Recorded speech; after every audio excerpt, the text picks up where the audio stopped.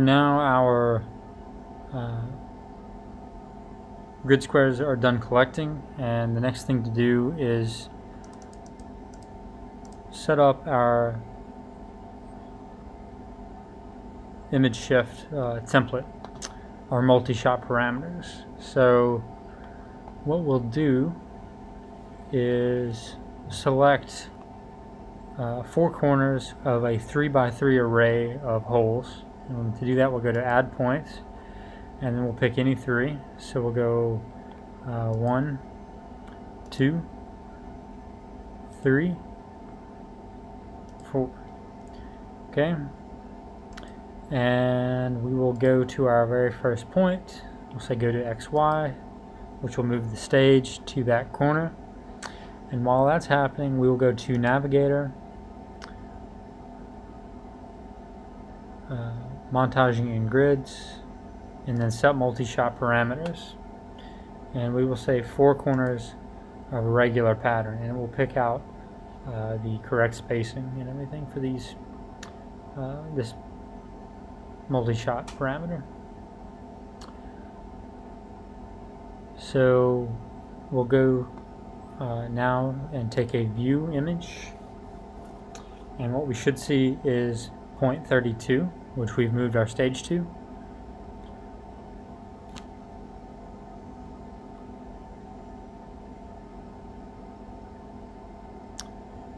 Okay, and there it is. And notice that we are just above the very center of the hole. And it's important to note that because when we come back to it later, we want to move every hole by that amount. So we're going to move our red cross to the very center. We'll say four corners of a regular pattern. Save image shift. Okay? So next it says shift by two holes in first direction. It's giving you instructions in this little window uh, and we already have our first two holes saved. So we're going to go to 33, image shift to XY, and then view. Okay. And then look at that, we're offset by the same exact amount as in 32. So we're going to move back down to the very center, save image shift, and then go to 34. And we're going to repeat that until we're completely finished with the entire square.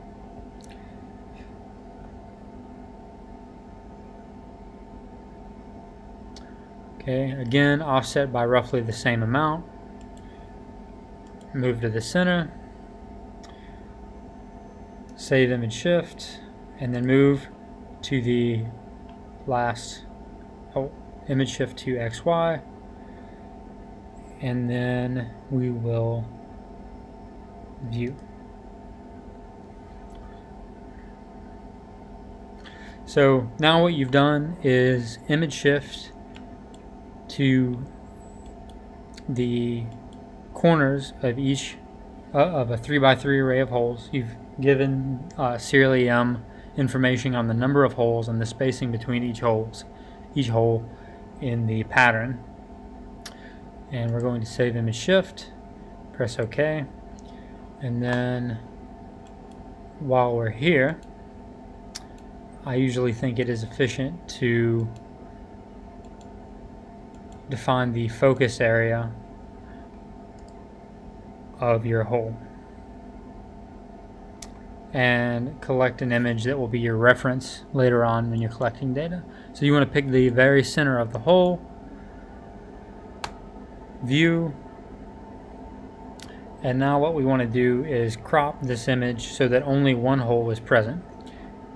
Uh, oh, actually before that we want to set our focus area. So I'm just going to pick a spacing in between each one of these holes by clicking uh, and then uh, in the define position of area. I've just selected focus and uh, clicked the area I want to focus on and I'm going to say none. Okay, now the next thing I need to do is crop this image. So I'm going to go to setup and then uh, I'm going to say half and a bit less and that should be just enough to get each one of these holes out of the main image of our hole. Okay, now I've cropped that and I want to view once more and verify that only one hole is present and it is still centered. And there you have it. So now I want to save this image as uh, P in my folder. So I'm going to close out my previous buffer P. Go to File, uh, Save A, which is the active uh, buffer. Save A. And I'm just going to save that as P right here. Okay? And that is how you uh, set up a focus area uh, image shift template and also save a reference image Uh, in Serial EM.